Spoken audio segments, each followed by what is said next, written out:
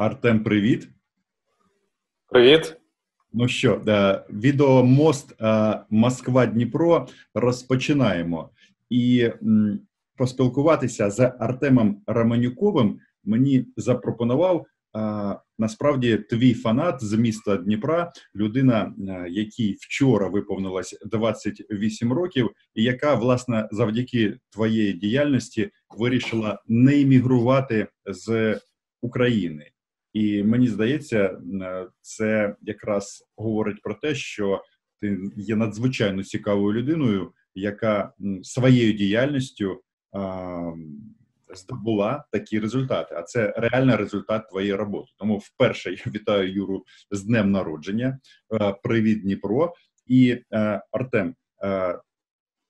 Е, ми, якщо заходиш на твій профіль в Фейсбуці, там просто безліч місць, де ти працював, чим займався, і все це в першу чергу пов'язано з громадською діяльністю, з боротьбою з корупцією і з тим, як е, зробити Україну краще. І один із таких моментів це форум «Нельзя валить остаться». Трошечки не так. Валить нельзя остаться. Валить нельзя остаться. Можеш розповісти про цей захід, і, власне, е, ти досі переконаний, що не втрачаєш свої молоді роки а, і не залишився, наприклад, в Стенфорді? Валіть нельзя остатися. Це ну, по-перше, дякую за е, добрі слова. Дякую цьому таємничому 28-річному е, хлопцеві Юря, е, Юра, так його це. Дякую тобі, Юра, за те, що в принципі ти Юра уособлення моєї місії. Тому дуже тобі дякую. Ти додаєш додаєш сил. І дякую за те, що запросив на це інтерв'ю. Ем, Валіть нельзя остатися. Це форум, який е, десь, мабуть, на другому чи третьому році нашої громадської діяльності. А я не зовсім ну я не все життя займався громадською діяльністю. Це е, лише після революції, після того як е, е на нас напала Росія, то фактично в 2014 році всі е, притомні люди, патріоти України, вони почали щось робити для України, окрім свого бізнесу або окрім заробітку грошей. І відповідно так само вчинив і я. Єдине, що мене це затягнуло так, що я де-факто кинув свій бізнес. Він до 14-го року займався. Тобто я якби тимчасово вийшов з нього, але більше вже не повернувся. От і десь на другому році, коли ми впроваджували різні е, зміни з місцевою владою з українською, там по прозорості, по публічних закупівлях, по різних різних штуках, е, ми побачили оцей дуже лякаючий тренд, що десь приблизно з 16-го року почали дуже активно говорити про те, що з України їдуть масово люди, е, навіть патріотичні, навіть пасіонарні. Вони просто видихаються, вони вигорають і, ну коротше, десь їдуть шукати кращого життя. Ми почали думати, ми невелика організація, громадський контроль.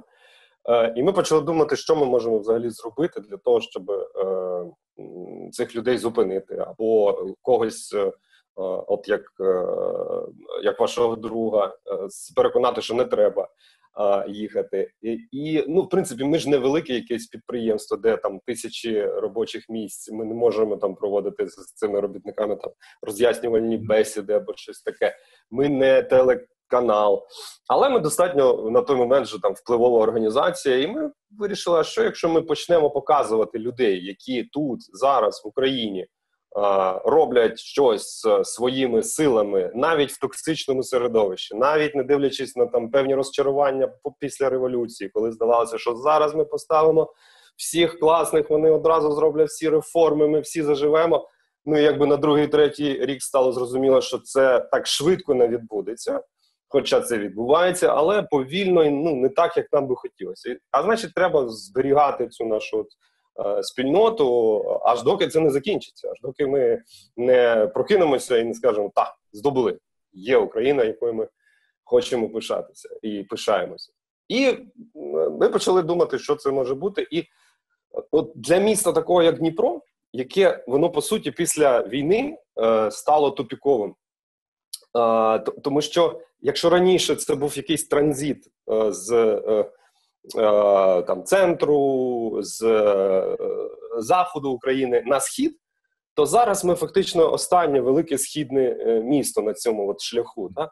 І це стало даватися в знаки з Дніпра. Теж почали виїжджати люди. І оскільки тут такий дохленький аеропорт, тут достатньо складно з е, навіть е, з залізничною інфраструктурою, ніколи не купиш квитки на Київ, ніколи з Києва. Ну до коронавірусу, принаймні, то тут ну, мало відбувалося чогось такого цікавого. І привезти сюди 10 національних спікерів, які кожен в своєму або кожна в своїй якійсь сфері є супер-мега е, успішними людьми, це для Дніпра достатньо велике, велика подія. От ми почали так з 17-го року, кожного року робити цей форум. І в 17-му році, перший раз, коли ми його зробили, ми дуже-дуже здивувалися, наскільки багато людей. Тобто, ми, ми, е, перша ж проблема, з якою ми стикнулися, що у нас замалий зал. Е, для для цього. А це ну, а це там 300-400 людей, які приходять на захід, де фактично просто розповідають про історію успіху. Ну, це здається немало. Ну, принаймні для там провінційного міста. Артем, а особисто для тебе ти які от визначив там критерії того, що треба залишатися в Україні і змінювати її? От е, для тебе оця система е, переваг е, від імміграції, тому що це ж історія, вона ж стосується не тільки Дніпра, це взагалі загальнонаціональна проблема, і е, ми прекрасно розуміємо, що багато людей шукають кращої долі, і це їх право. І їдуть за, заробляти і в Польщу, і не тільки в Польщу, навіть в Росію, що як на мене дивно, але тим не менше, е, от для тебе що в цьому плані? Мене тримає в Україні драйв і можливість. Е, я навіть не знаю, як це до кінця правильно сформулювати. От скільки років намагаюся і не можу. Е, в Україні можна досягти великих перемог швидко набагато швидше ніж будь-якій іншій країні, тому що в по багатьох параметрах Україна просто знаходиться ну буквально на, на дні або знаходилася в 2014 році, там 13-му. І це в першу чергу заводило, мабуть, таких е, людей, як я, ну мене особисто, що я от тут і зараз можу зробити краще для купи інших людей. Це якесь таке служіння, воно якесь як як така прошивка в людині. Якщо зашита, то вона мене зрозуміє. Якщо ти хочеш для тих, хто оточує тебе щось зробити, щоб вони користувалися там кращими громадськими просторами, щоб вони дихали кращим повітрям, щоб вони а, мали кращу там міську інфраструктуру. То е, немає кращого місця для цього для цього ніж Україна тому що в ній відкриті можливості. У нас є у нас а, це демократична країна, в якій можна і треба вигравати вибори. Це е, е, країна, в якій е, свобода слова. Ну вона така та ну квазі, та дещо, тобто. Е, ЗМІ майже вільні, але вони належать там якимось е, людям, які втручаються в редакційну політику. Але якщо ж складати це все з пазл з різних та змі, то ми якби бачимо цілісну картинку. Е, І і все це дає можливість просто дуже ефективно і і швидко змінювати тут е, життя на краще. І мені ця, ці можливості завжди були ну, більш привабливі, ніж можливість їхати в якусь ситу заможну країну, в якій я чужинець, е, яка мені, ну якщо вже зовсім банально, ну не рідна. Ну я люблю цю країну, просто є навіть ну є безумовні речі, які е, ну не можна пояснити. Це просто любов до того міста, де ти е, до, до того місця і міста, де де ти живеш. Е, от і тому мені завжди здавалося, що тут цікавіше, що тут тут, тут більше можливостей для служіння, для того, щоб для того, щоб після там для того, щоб моїй доньці розповідати, що її там тато був причетний до е, становлення національного антикорупційного бюро, яке там стало класним. Е, я сподіваюся, стане е, і не не споплюжиться, і стане класним правоохоронним органом. Тож і батько був причетний до до, до реформи публічних закупівель, а зараз робить е, багато цікавого в сфері захисту довкілля. То і все це все це покращує життя людей і дуже дуже дривить. Ну, десь приблизно такий набір, може трошки хаотично, але мене це тут тримає намертво, і мені нікуди не хочеться. Мені не цікаво в інших країнах. Я пробував е, трошечки пожити там і в США, і трошечки в Австрії. Ну це набагато нудніше і ну, немає, немає коннекту. Артем, е, цей хлопчик, чи вже чоловік Юра, який нас е, заочно познайомив, він каже, що е, подивись на Артема, бо це в майбутньому політик українського рівня з європейськими поглядами. І ти власне сказав про те, що в цій державі в Україні можна виігрувати вибори. Збираєшся піти з громадської діяльності, про яку ти частково розповів, в так так, так би мовити, в поле, де все залежить власне від тебе. Я власне ніколи і не приховував, що політична діяльність це, зокрема, один зі способів е, нести добро і те, що ти задумав, втілювати в життя. Тому я ще з 2014 року в е, Демальянсі, е, а зараз е, ми в активних перемовинах з е, партією голос, е, яка Е, можливо е, висуне мене кандидатом на міського голову Дніпра. Відповідно, так. І я ніколи не цурався. Я завжди казав, що якщо в політики, якщо нормальні люди не будуть йти в політику, то там так і залишаться одні мудаки. Відповідно, ну нема чого боятися особливо. І знаєш, коли коли ти тільки робиш цей шаг, е, значить, з біле пальто, громадська діяльність, е, бізнесовий бекграунд, Стенфорд, е, там західна освіта, хороша українська освіта, там я не знаю, якісь такі штуки, да, які додають тобі до білого пальто ще біліших кольорів. І ти оцей робиш крок в політику, то це ну це звичайно це ламає там у у людей. Може, от у такої людини там поламати Е, дуже сильно психіку і дуже сильно поламати уявлення інших людей від неї. А я якби ніколи не не приховував, що я брудний політик, умовно там брудний, тому що нас же ж та як і у всьому світі, політика це брудна справа. Я завжди якби чесно казав, що через політику є сенс е, втілювати задумане. Е, єдине, що я не можу співпрацювати з е, політичними там силами, які ну, залежать від одного інвестора, який потім вимагає ясна річ, що повернення цих інвестицій. Тобто це це єдина перепона, так би мовити. І тоді виходить так, що а ці якраз поліцили, е, вони ж зазвичай найсильніші.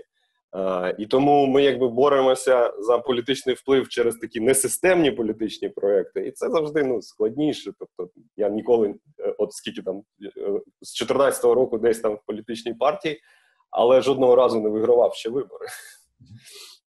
Хоча в одних тільки брав участь. Як то кажуть, не все одразу. Ну я хочу тобі сказати, що е, десь місяць, може трошки більше назад, я робив інтерв'ю з Сергієм Притулою, і пройшов час, і він вже кандидат в мери Києва від партії голос. Так що будемо виходити, що це така буде е, цікава е, традиція. Слухай, ну е, от все ти багато про що казав, е, чим ти займаєшся. От як ти сформуєш е, наразі, яка головна проблема України? Тому що ну війна з Росією. Ну, якби там не було, фактично цей конфлікт вже заморожений з 15-го року, не дивлячись на ту кількість жертв, е, яка тривала. Але якщо там з такої з політологічної точки зору дивитися, це ну саме так. І багато хто списує всі проблеми на російське вторгнення. А от ти як це бачиш? Я б сказав, що, ну, по-перше, війну е, це ми можемо в історичній перспективі потім, десь через там, може, 20 років, 10, я не знаю через скільки, оцінити, чи знаходимося ми в замороженій е, стадії.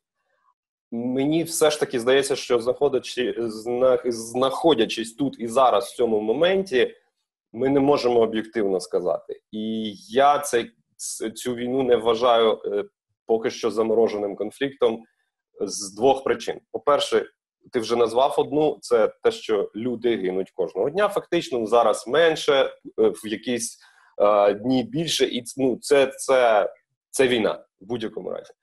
А а по-друге, через те, що вона ж може спалахнути в будь-який момент. І по суті, це і є ж та той гачок, на якому тримають Україну а, з Москви, е, для того, щоб не давати е, потужно розвиватися, так як ми могли.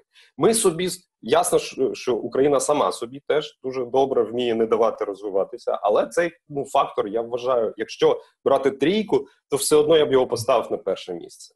Ну і опитування про це говорять. Е, так, тому я тут приєднуюсь. Іноді кажуть, що ну якби от е, якщо це опитування, масова точка зору, то це може якась популістична історія. В даному випадку я приєднуюсь до цього е, повністю. Е, далі я б ну я в принципі завжди всі ці роки ставив на, на завжди в трійці. У мене була корупція, е, тому що багато е, з, свого життя віддав на боротьбу з корупцією, продовжую віддавати і. Е, я вважаю, що цей е, наратив, що це там, нібито наша там особливість, така там національна, або на ній там якось тримається економіка, або ну тобто багато таких речей, які нам поступово е, намагалися нав'язати багато років. Це все маячня. Е, так само, як і наратив почни з себе.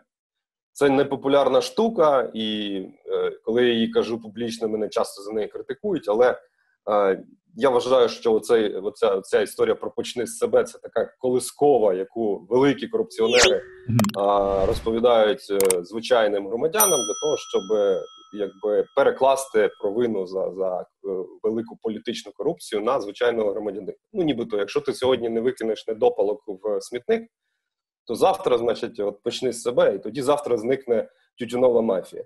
Ну якби воно так не працює. Хоча я ну, не стверджую одразу дисклеймер. Почни з себе в сенсі, просто почни з себе, це чудово, і це треба робити. Почни з себе в сенсі, я не буду, я великий там політик корумпований, який не буде нічого робити, поки ти не почнеш себе. Оце не, не треба нам е, заливати. А тому корупція тут точно це проблема, яку я вважаю однією з головних України. І, можливо, навіть зараз можна ставити ще й імміграцію. Ну, тобто, той е, ґрунт, на якому ми сьогодні там зустрічаємося, да, з, е, через що наш спільний таємничий знайомий е, запропонував зробити це інтерв'ю. Мені це здається теж проблемою, але це скоріше похідна. Тому вирішуючи системні проблеми, е, треба, звичайно, ну, за них братися, бо імміграцію просто само собою ти не вирішиш. Ну, ти людей назад не, не там, умовно кажучи, хорошим відео президента Зеленського ти людей назад не приведеш. Е, на жаль, тому е, е, це це скоріше похідна. А ну можливо, ще в цей ряд треба ставити лібералізацію економіки, як як таку та спрощення, тому що ну я такий по натурі ліберал, і мені б звичайно хотілося, щоб для запуску, для, для якогось прориву економічного, все ж таки тут відпустити максимально, дати людям трошки збагатитися, дати людям подивитися вже кудись, окрім як е, на лопату, якою там ми копаємо кожного дня. Далі людина збагатіла, людина трошки починає е, бачити світ, починає збагачуватись, починає е, освітою займатися. Ну от відповідно, мені б здається, що як трьох цих з рішення цих трьох проблем може скластися е, хороша історія для України. Звісно, якщо її до неї додати ще Е, дуже сильну національну ідею і, взагалі, ідентичність. То ви постійне, е, це навіть не вирішення проблеми, це просто постійне формування української ідентичності, яке на щастя почалося і активно відбувається в Україні е, всі останні роки. Будемо розраховувати, що налагідна українізація триватиме. А питання війни і миру давай винесемо за дужки, тому що власне мій от youtube канал він і присвячений цій проблемі, і я фактично тільки про це і говорю.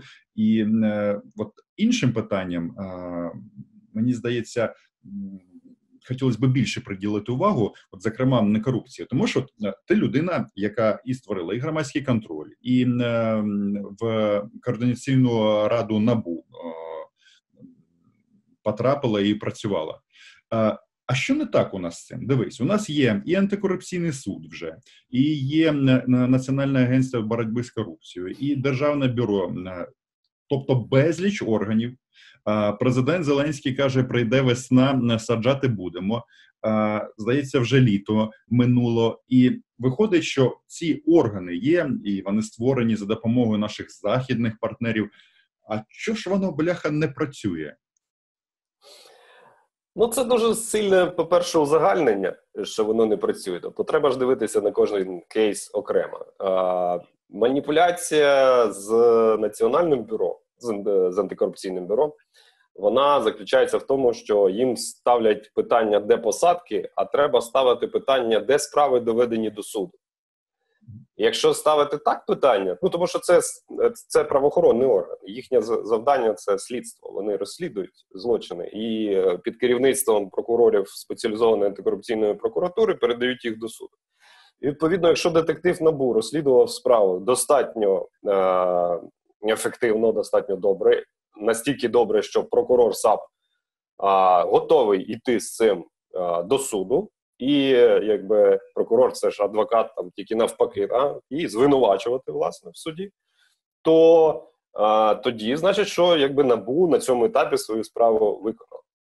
якщо дивитися на ті а, провадження, які є в бюро, то в принципі мені це додає е, скоріше оптимізму, ніж песимізму. Тому що, по-перше, їх там декілька сотень, і це все топи. Тобто там же ж немає справ проти там якихось е, клерків в міськрадах, тому що це просто не підслідність набу. Набу розслідує або тих, або топ-чиновників, або якщо ти вкрав е, там більше мільйона. Ну це якщо дуже спростити. То відповідно всі ті там 600 чи скільки зараз проваджень е, в роботі, це все топи, які ніколи ну все життя в Україні були просто недоторканними. А зараз по них ми бачимо декілька сотень справ. І якщо згадаєш десь років, ну може там, ну коротше, в еру Януковича, та е, я думаю, що неодноразово ми чули вислів в дусі, та от ніхто ж з цих, значить, покидьків не сидить на лаві підсудних. Та? Зараз сидять на лаві підсудних. Е, Вони в судах. Інша справа. Далі йдемо по цій е, по, по цій, значить, по по цих. А далі йдемо, е, що має відбуватись далі. Далі суд має засудити людину або виправдати, тобто винести справедливе рішення. Тут ми вспираємо, впираємося в те, що ще в 2016 році мав бути запущений оцей же антикорупційний суд, який ми вже згадали. Але фактично, там скільки 4 роки, е, майже 4 роки, е, цьому постійно ставили перепони. Тобто або парламент, або президент, або там ще якісь там магічні сили. Коротше, це не відбувалося. І зрозуміло, чому, тому що ніхто не хотів, щоб з'явився в Україні суд, відібраний за прозорими міжнародними стандартами, в які відібрані були б судді, які би можливо почали би справедливо судити. Це нікому не треба. Всім треба суд, е, значить, окружний суд з, з вовком. Це нормально, це це повністю керована штука. Туди завжди можна занести котлету, і все якби буде відбуватись так, як треба. А а тут незрозуміло. Тобто, може домовимося, може ні. Ми ж не знаємо, хто це буде. А не знаємо, тому що їх будуть відбирати якісь люди на якомусь конкурсі. Ні, ні, ні, ні, ні, так не треба. Але зрештою, громадянське суспільство ж протиснуло все це. І такий відбувся прозорий конкурс, і такий минулої осені запрацював цей антикорупційний суд. І що ми бачимо? Якщо раніше ті справи, е, які розслідувала набу, потрапляли в звичайні судді, е, суди, і там відбувалася навіть не корупція, я впевнений в більшості випадків, а просто небажання суддів брати на себе відповідальність, тому що сидить у тебе Насіров на лаві підсудних, а завтра він президентом стане. Та нафіг воно мені треба. Я краще там захворію чи ще щось. Тобто вони тягнулися ці справи там по 17 місяців, навіть без підготовчого засідання, і всі на них е, ну якби нічого не відбувалося. Тут з'явився антикорупційний суд, і що ми бачимо за перший ще неповний рік його існування вже п'ять е, тюремних вироків.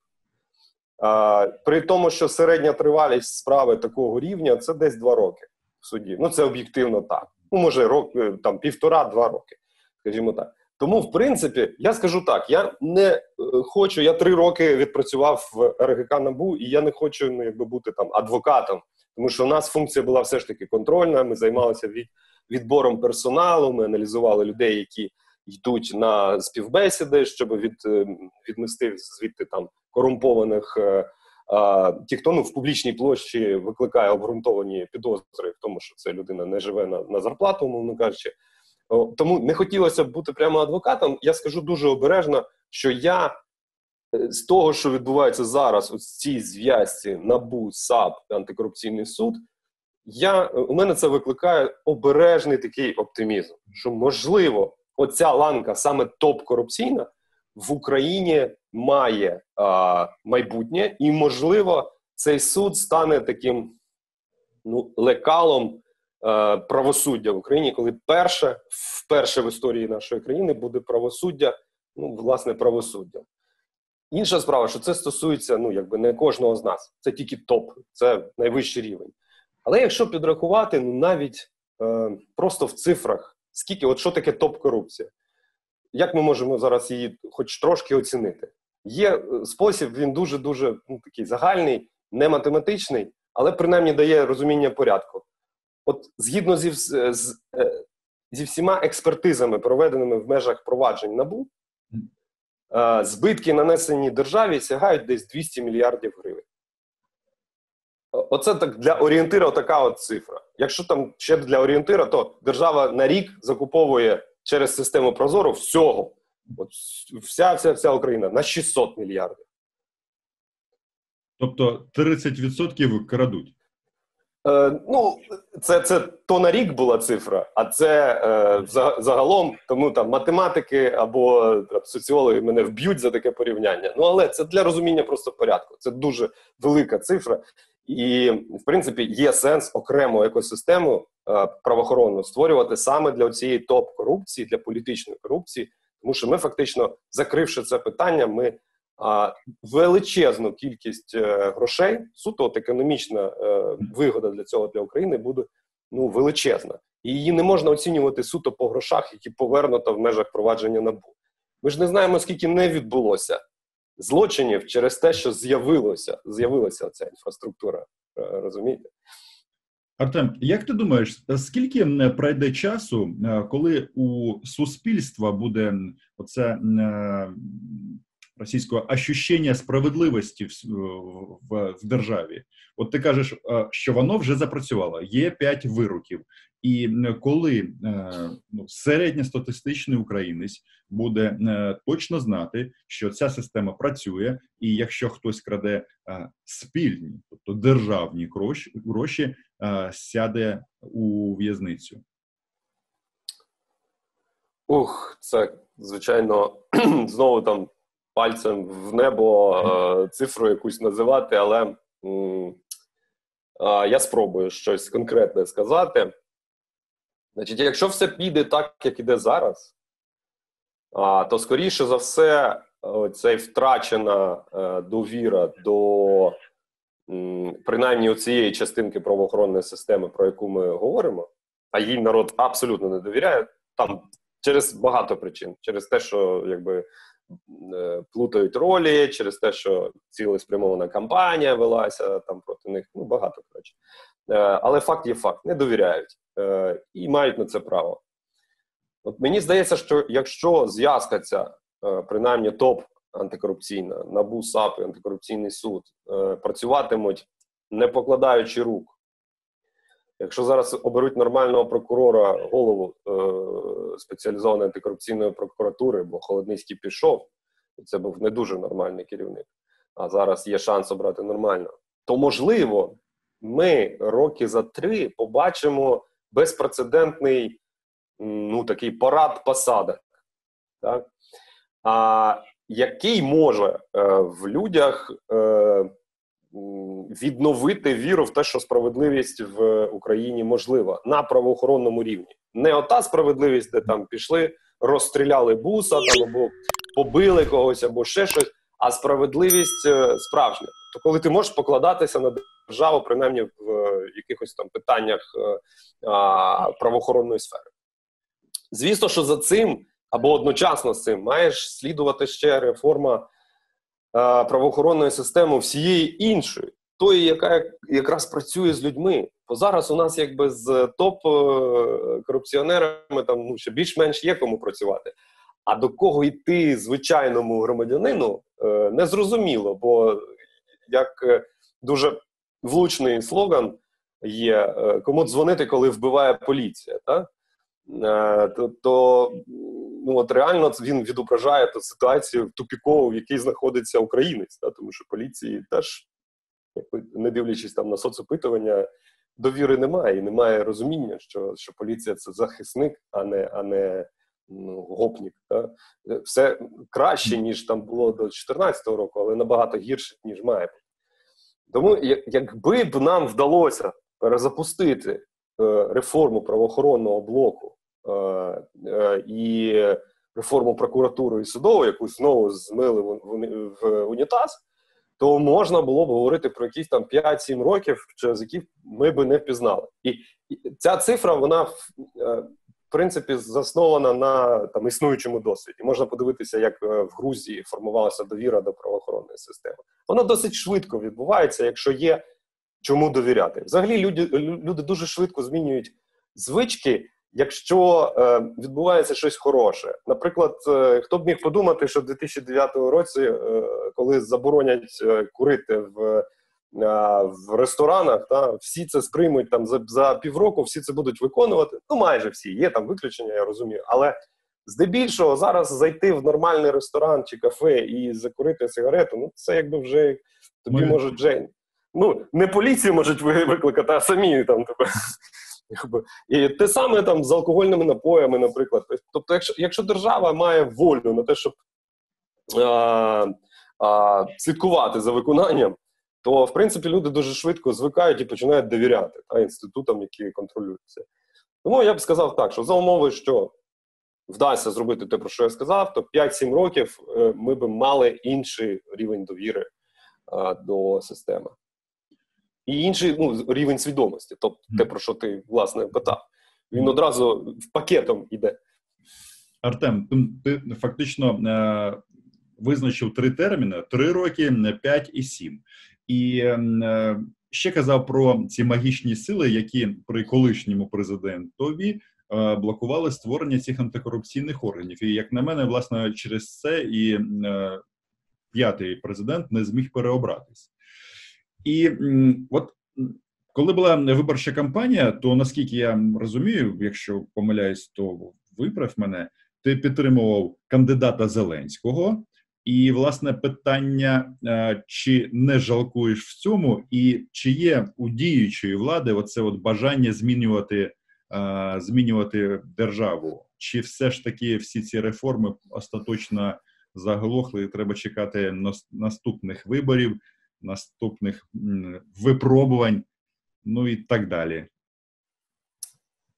Е, по-перше, я не підтримував Зеленського публічно ніколи не казав, що треба за нього голосувати. Я міг е, інколи потролити, що е, якби змінність влади влади загалом це добре, тому що ми демократична країна. Значить, якщо люди так оберуть, то будь ласка, там не ображайте 70 чи скільки там відсотків проголосувало. І, Тобто я публічно не казав про свій вибір. Більше того, ми намагалися всю цю кампанію якраз е, не приховуючи якби своєї політизованості, зробити е, альтернативного кандидата, єдиного кандидата від е, так званих демократичних сил. Я кажу так званих, що тому, що зараз вони всі фактично збанкрутіли. Це там а, партія Гриценка, самопоміч, і от всі ці гравці, які ну традиційно вважалися таким демократичним табором, слуга народу і таким катком проїхалася по всьому цьому табору і фактично його просто знищила, тому що всі люди повірили в великий цей проект. Що це е, е, льодокол, який може Криголам, да, який може увірватися в політики і перезавантажити, і взагалі показати її нову якість. Е, тому е, щодо президентських, така була е, така була у мене позиція. На жаль, нам не вдалося. Ми не сформували цю альтернативу, хоча билися за це дуже дуже дуже сильно. Е, але це інша історія. Тепер щодо корупції і і перепон в антикорупційній реформі. Ну, дійсно, антикорупційній спільноті, як кажуть, ну хлібнулі горюшка від колишньої, колишнього президента і його оточення, тому що, в принципі, було зрозуміло, що політично його якби найбільшими він вважав, напевно, своїми найбільшими опонентами, якраз антикорупціонерів, тих, хто намагався штовхати антикорупційні реформи, і найбільшою загрозою для тих кіл, в яких ну, наближених там до нього кіл. Було якраз утворення цієї антикорупційної інфраструктури НАБУ, САП, тому що вони почали якби брати за за хвости якихось дуже близьких там до нього людей. А, І зрозуміло, що і там і він, і його оточення сприймали це як, е, мабуть, сприймали це як політично на них напад, а не правоохоронний. Тому що ну дійсно в Україні, мабуть, навіть президенту складно повірити, що може якийсь правоохоронний орган працювати просто тому, що він правоохоронний орган. А, е, Нам ну ми ми це дізнаємося, чи це було так насправді чи ні. Це вже покаже історія. Ну а, а було, я маю на увазі, чи це дійсно правоохоронний орган просто працював як правоохоронний орган, або там якісь підігрівання були ззовні. Але так, якщо навіть подивитися на їхній спектр кейсів, от зараз в цьому антикорупційному бюро і в САП е, і антикорупційному суді, ми там знайдемо весь спектр політичних гравців е, України. Тобто, це теж трошечки такий е, ознака того, що вони ну принаймні не виконують політичні замовлення. І навіть те, що зараз, коли шукали, хто ж е, безумовно виконає політичне замовлення проти самого Порошенка з отими сміттєвими там справами, які на нього там фабрикують, ну набув цьому не бере участь. Це бере там ручне ДБР, це робить ручна, ручні генпрокурори. Ну е, я не те, що я не не підтримую там і не засуджую зараз е, Петра Олексійовича. Я просто кажу про те, що зі сторони виглядає все як політичне замовлення, в якому просто беруть участь е, там певні е, структури, які просто під контроль. От але е, він був і його оточення дійсно було мабуть головною проблемою при утворенні антикорупційної інфраструктури е, за минулої влади, яку можна було утворити дуже швидко. І скоріше за все, дійсно, антикорупційна спільнота, яка була дуже сильно налаштована, ну скажімо, не не те, що налаштована проти, а вона була дуже пригнічена колишньою е, владою, як і зараз, в принципі, нинішня теж теж саме продовжує робити. На жаль, а і проти нас там вводилися різні навіть там дуже безглузді е, заходи, на кшталт там прирівнювання нас там до якихось іноземних агентів. Щоб ми, якщо ти отримуєш технічну допомогу, то ти прирівнюєшся до чиновника. Е, Декларації ці всі я подавав в принципі декларацію без цього. Ну е, але там, наприклад, для компанії, яка е, е, прибирає офіс громадського контролю, це вже занадто подавати публічну декларацію. Е, а, Ну ладно, це це. Це вже дєбрі, да? А, так зараз, коротше, я... зараз що? От зараз, от я конкретизую. От... Чекаємо нових президентських виборів, чи все ж таки, от у діючої команди ну може бути якесь таке просвітлення, і вони якби зроблять власне те, чого їх обрали, чого їх обрали люди. Мало віри у мене е, в те, що зроблять. Е, Я не думаю, що Зеленський як такий, що це як він прийшов там збагачуватись. Я абсолютно впевнений, що у нього там є абсолютно відверте бажання залишити слід в історії, зробити щось добре для країни, але як на мене, він обрав не тих людей, з якими це е, з якими це треба робити. А, І ці люди постійно змінюються. Від цього відбувається певний хаос в е, управлінні державою загалом. І якщо минулі окрестили нас е, грантаєдами, то теперішні сарасятами, от і всі, і все, от і вся різниця. І е, те, що утворений був антикорупційний суд, е, нарешті він вже за цієї влади був утворений. Це ну, це, звісно, хороша історія, це хороша штука. Е, я сподіваюся, що у них вистачить принаймні сил організаційних не заважати е, працювати е, цій реформі. А ми вже спробуємо зі свого боку антикорупційна спільнота. Ми спробуємо максимально модерувати це, щоб там не відбувалося поганих змін. Ну, але віри в те, що це буде якийсь драйвер саме реформи, е, і і навіть не тільки антикорупційної. У мене, на жаль, наразі немає. Занадто хаотичні процеси відбуваються майже в, в усьому, що я бачу, і мене дуже непокоїть оцей такий е, дуже повільний, але такий дуже наполегливий відкат до, до, до якихось от цих е, цінностей розмитих цінностей, відкат до Росії, відкат в оці всі е, наративчики е, примірюють. Е, давайте ну просто перестати стріляти. І оця вся історія, вона вона мене як патріота е, напружує, хоча я й не такий радикальний, як там у нас. Е, Ну, як як люди, які просто з першого дня одразу сказали, що це буде так. Можливо, вони мудріші за мене і знали більше. Я поки що зберігаю спокій, тому що я вірю, що е, Україну в будь-якому разі врятує демократія, і ми просто, якщо нас не влаштує е, те, що відбувається зараз, ми просто це переоберемо. Слухай, е, переберемо. Ти тут такі терміни поставив 3, 5 і 7 років. Я думаю, що через 7 років мені буде ближче до 50, ніж до ніж до 40. І е, як то хочуть, кажуть, е, хочеться і пожити е, в справедливій державі. Чуєш? А скажи, от ти казав, що вчився в Сполучених Штатах. Ну і я дивився це ну, мова йде про Стенфорд. Що ти там робив? Чому тебе там? Чому тебе там вчили? Це програма Stanford Ukrainian Emerging Leaders.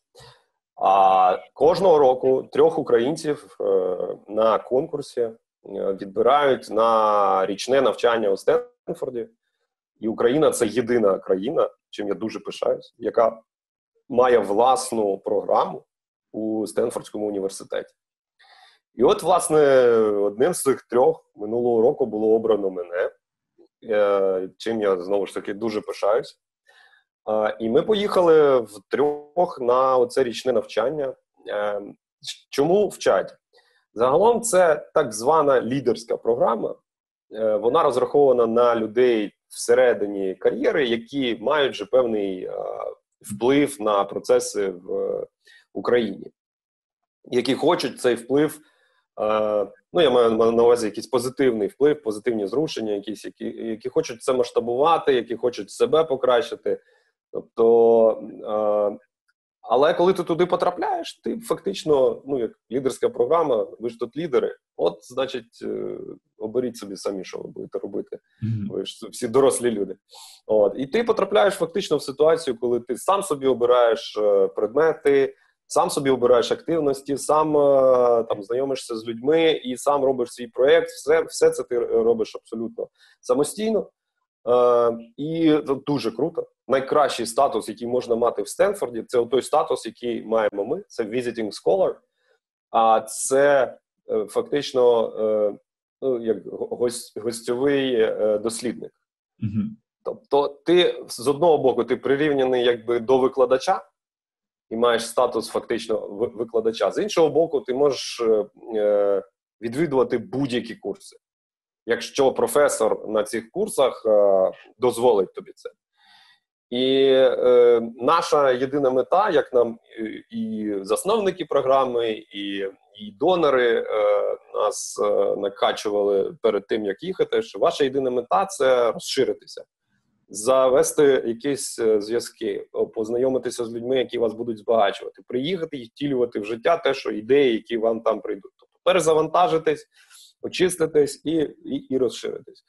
Це так дуже з такими крупними мазками ця програма. Тому я брав там курси, там, наприклад, і по стартапах, і по екологічному міжнародному законодавству, і по теорії ігор, і по економічній теорії.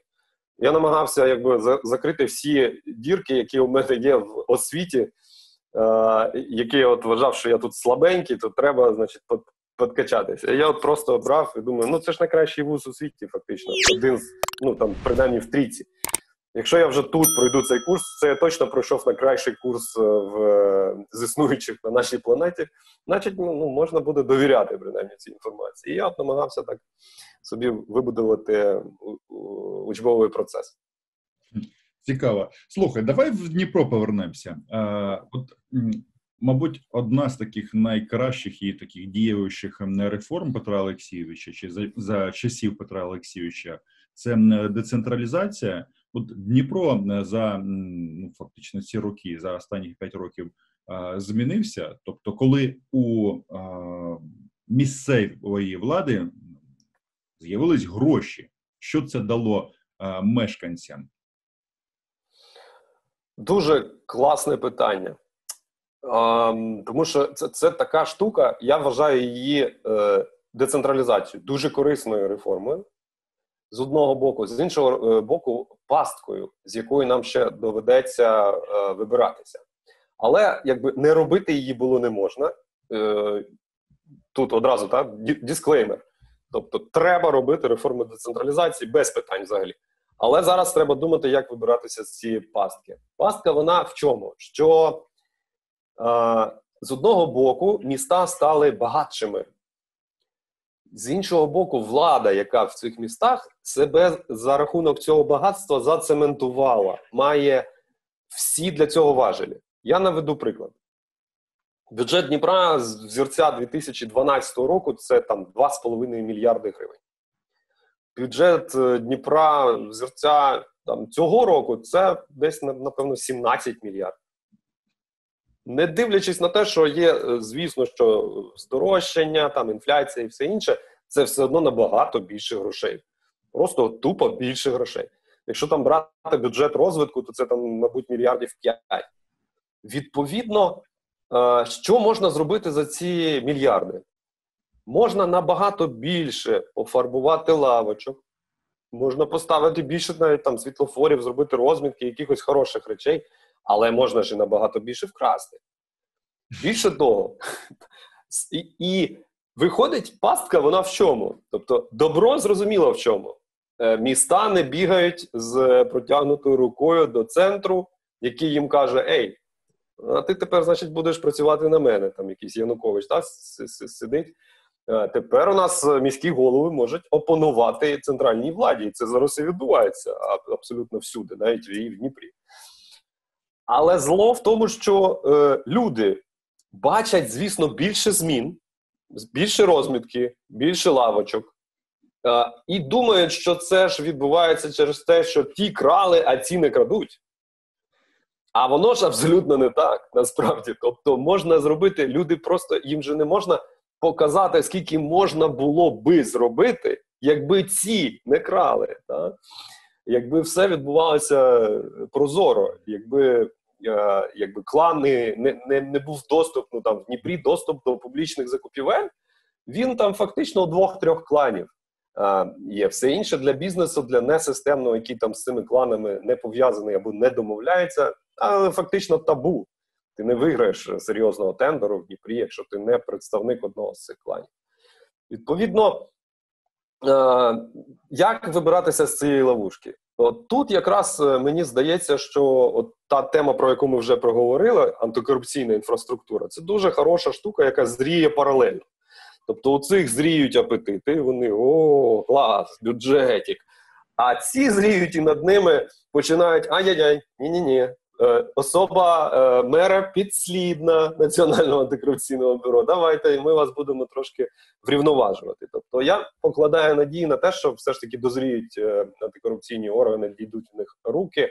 Ну, власне, вже дійшли. По Труханову йде процес а, по одеському меру, і, і, в принципі, він йде якраз по ну не, не зовсім по такому кейсу, де там він краде бюджетні кошти, але там махінація з продажем заводу краян, mm з його там декларуванням і таке інше. От тому децентралізація good, але, будь ласка, давайте е, додавати до неї правоохоронну систему. Слухай, ти сказав, що е, збираєшся на вибори е, очільника міського голови міста Дніпра. Я насправді в Дніпрі ніколи не був. Колись був в Дніпропетровську років так 15 назад, мабуть. І от е, все ж таки казав ти, що це е, ну, стало одне з найбільших східних міст. Е, це оплот українства, якщо там згадаємо 14-й рік, як е, ще на той час Дніпропетровськ повністю переформували е, в жовто-голубий колір. Що треба зробити в місті, щоб е, люди е, раділи, розвивались і, власне, не виїжджали не тільки з Дніпра, а з України? Яка твоя програма? Метро до Харкова чи може щось інше? Ну, по-перше, я ще я ще не йду. Я просто знаходжуся там в певному перемовному процесі. Чи піду, чи ні, ми подивимось, як це а, відбудеться. А, по-друге, що що по Дніпру? Ну, ми, найглибше моє переконання, що Дніпро Дніпру дуже бракує стратегії. А, Ми ніколи не можемо відповісти на питання от Дніпряни, так? всі, хто живуть тут, ніхто не може відповісти на питання Дніпро це місто чого.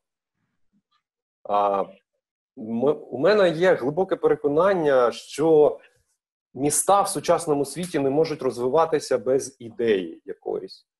Тому що індустрії, от в весь цей все те, що відбувається е, в світі, вони настільки розрослися, що е, ну навіть місто може навіть обслуговувати тупо інтернет-магазин eBay, там, наприклад. Це настільки велика структура, так?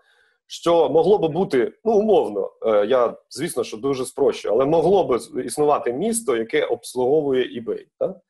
І так зараз розрослися ну, майже всі індустрії. І тому ми бачимо, якщо брати, наприклад, Сполучені Штати, ми бачимо, що Лос-Анджелес це що? Це місто кіноіндустрії. Ніхто не буде довго думати, так?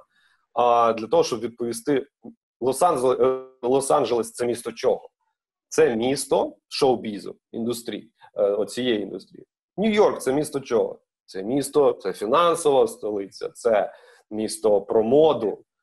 Навіть такі штуки не дуже поєднувані, здавалося б, але з одного боку, і центр там е, модної індустрії, і центр з іншого боку, фінансовий.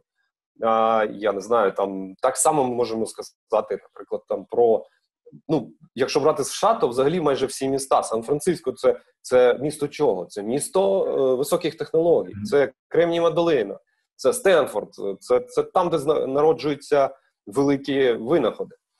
І от мені б хотілося, щоб Дніпро е, мало би о, цей стрижень, а він народжується через е, дуже широке громадське обговорення якого сьогоднішня влада, на жаль, постійно уникає.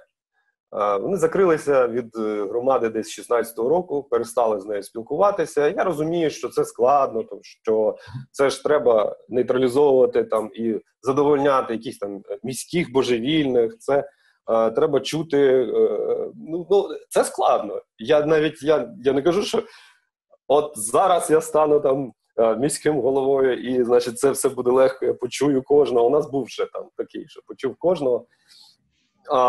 Я до того, що це болісний, але необхідний процес. Не розвиваються міста без консультації з громадою. Громада буде опонувати будь-якому, навіть самому класному проекту, якщо з нею не порадяться. Іноді буде робити це тупо ну, через вредність.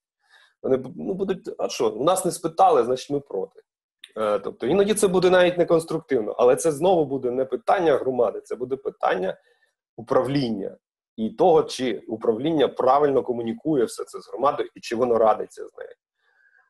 Е, Для того, щоб не перетворювати це, це там на якийсь передвиборчий там е, виступ, та, я, мабуть, обмежуся цією стратегією, але це це дуже дуже ключова історія для, для міста. Е, звісно, що там друга біль нашого міста це це довкілля. Ми дуже потерпаємо від того, що викидається в повітря, і з цим теж треба працювати. І теж у місцевої влади є достатньо важелів для того, щоб з цим а, покращувати ситуацію. А, та, в принципі, про це можна говорити ще годину. Слухай, ну все одно ти сказав про таке позиціонування. То от як ти бачиш позиціонування Дніпра в Україні? Це місто чого? Місто айтішників, місто ракетобудівників, чи що це? Який це кластер? Тобто, що таке Дніпро от, в такому розумінні? Я би виносив на загальне обговорення такі варіанти позиціонування, деякі з яких ти вже назвав. Так? Це місто здатно бути і it кластером і воно ним фактично ну майже майже є. Це місто здатне бути е, тут будують ракети.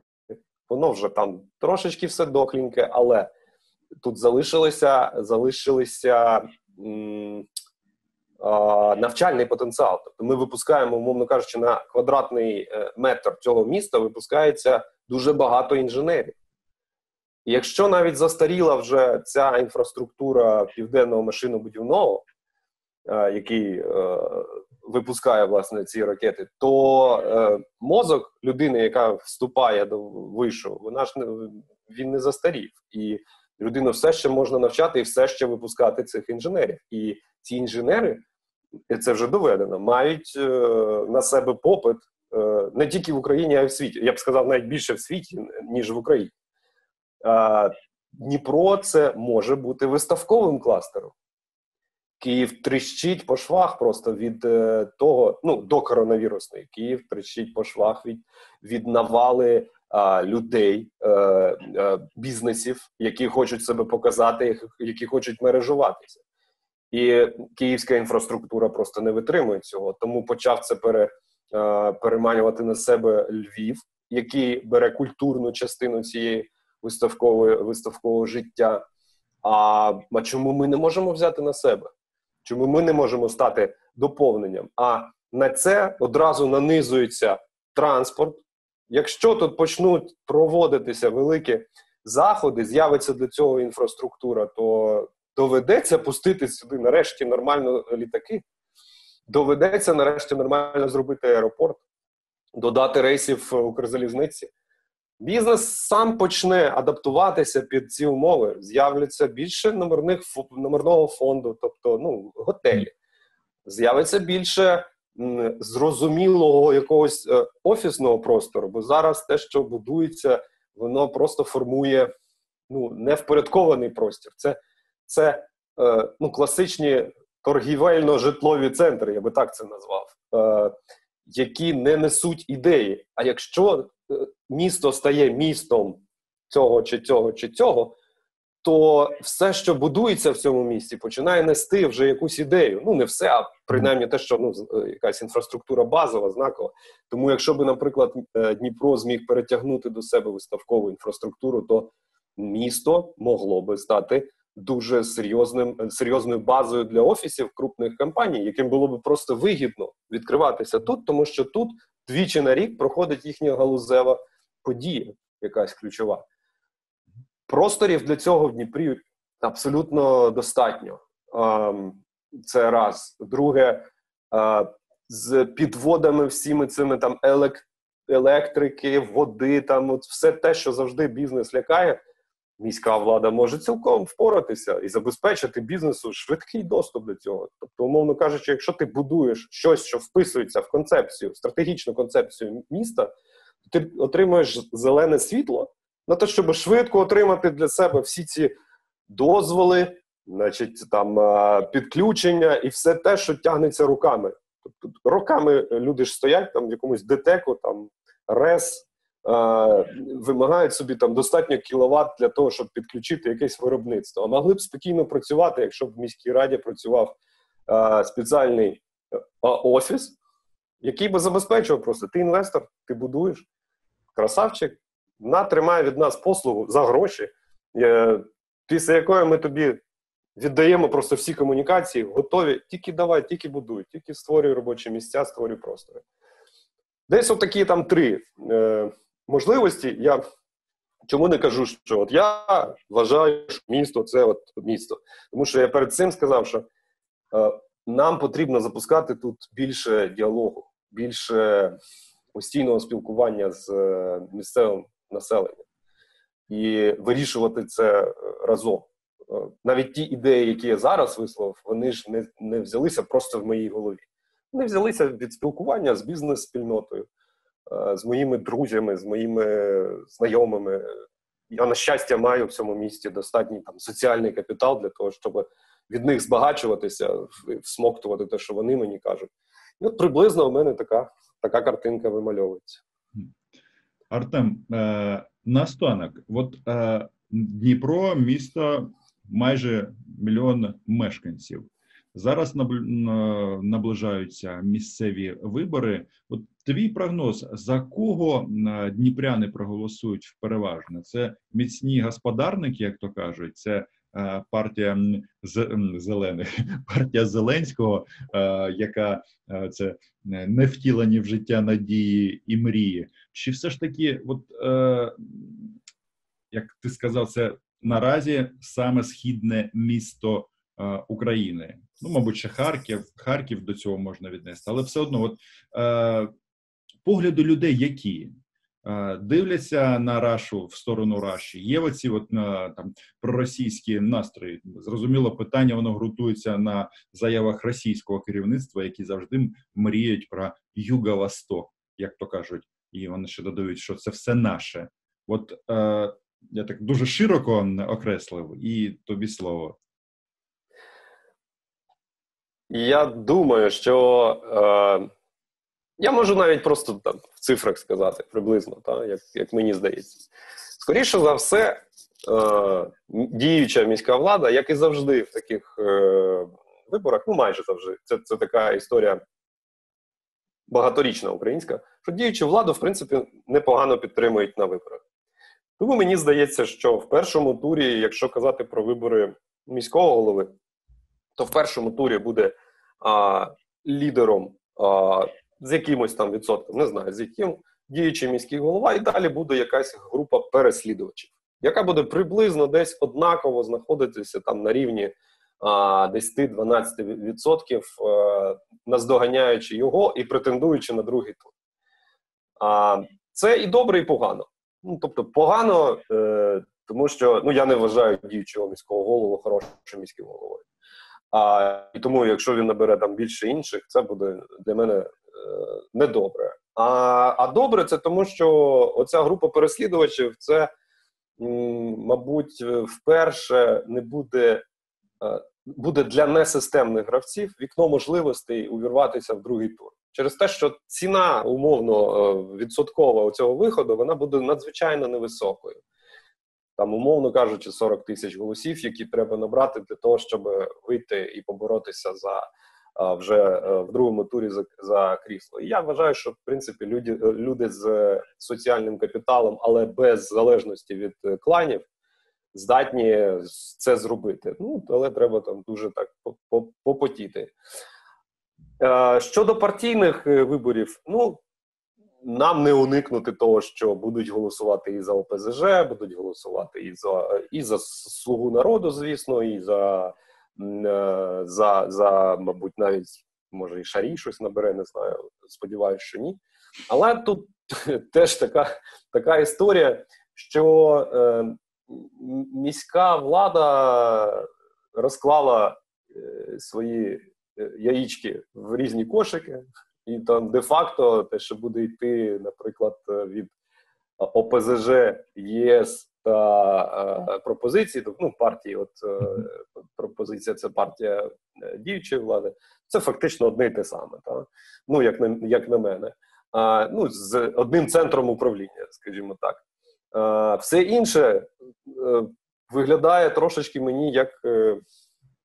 Ну, як як або проросійське, або або те, що просто вигідно продасть свою золоту акцію в майбутній там міській раді. Тому мені б дуже хотілося, я саме через це і е, розмовляю зараз з, голосом, не приховую цього. Е, мені б дуже хотілося, щоб з'явилася якась несистемна у цій всі в цьому зоопарку, щоб з'явилося щось е, таке, за що е, не соромно буде. Е, голосувати. І багато хто я знаю, що буде ходити і казати, якщо все там вдасться, та, то то багато хто буде ходити і казати, ну ви ж не прохідні, та ну що, ну, це ж не треба. Але м, такий неофіційний для для себе е, е, для себе слоган цієї кампанії. Е, потім не кажіть, що не було за кого. Е, тому що, ну, якби якщо якщо вже буде за кого, то у вас немає там виходу. Якщо ви хочете добра дійсно і хочете, щоб не було соромно за свій голос, то вам ну, просто іншого вибору не буде, окрім окрім цього, якщо з'явиться несистемний е, гравець. Е, ну от приблизно така картинка про російські настрої в місті. Я би їх сказав, що вони, е, вони еволюціонували. Мені здається, що проросійські настрої в місті вони зараз скоріше як е, опозиційні. Ну, Тобто, зрозумійте мене правильно, я не, е, це не адвокація там проросійських е, людей. Це я до того, що навіть проукраїнські е, люди можуть е, через якісь там дуже там, я не знаю, коротше, можуть голоснути за якусь там е, шайку е, проросійську. Виключно через те, що вони хочуть показати своє фе і тим, і іншим. Е, Можуть кинути монету і проголосувати там за, за що завгодно. Тому що зростає з одного боку всі ці роки е, після революції вони не пройшли дарма, і в людях з'явилося українство. А, І вже навіть тому ж ОПЗЖ не так просто сказати, що Путін наш Бог. Е, тому що це не сприймуть, навіть, мабуть, частина їх виборців. Е, і тому мені здається, що воно поступово мімікрує. Оця вся от суто така проросійська оця історія, вона поступово мімікрує в таку, от, якби проти всіх історію е, більше. Навіть так мені хотілося б в це вірити. Я не буду там, я не, не, не експерт від Бога і і провідець, і не Бог вість який цей аналітик да, таких речей, але так от відчуття таке, і мені б хотілося вірити. Артем, е, дякую за розмову. Мені було цікаво, і, мабуть, від себе додам одне: що краще не голосувати за будь-кого, але не підтримувати сили, які є відвертими колаборантами і грають е, на полі ворога, тому що ну мені дуже не хотілося би, щоб е, росіяни створили в Дніпрі такі самі е, подвали, як вони створили в Донецьку, і власне в системі, де влада дійсно обирається, треба дуже дуже ретельно думати і вибирати свого кандидата. Артем, ще раз дякую і бажаю тобі успіхів не тільки на виборах, якщо ти туди все ж таки підеш, а взагалі в твоїй діяльності, тому що твої погляди, мені здається, вони надихають багатьох людей. І, власне, привід нашої розмови і такого заочного знайомства про це говорить. У нас 200 людей спільних на, на Фейсбуці, і власне це говорить про те, що ми дивимося в один е, бік. Дякую дуже, що запросив. Було дуже цікаво. Так. До І так, не голосуйте про за проросійське лайно.